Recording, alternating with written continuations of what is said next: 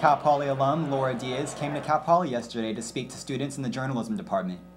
Diaz was the main anchor at KCBS in LA from 2002 to 2011.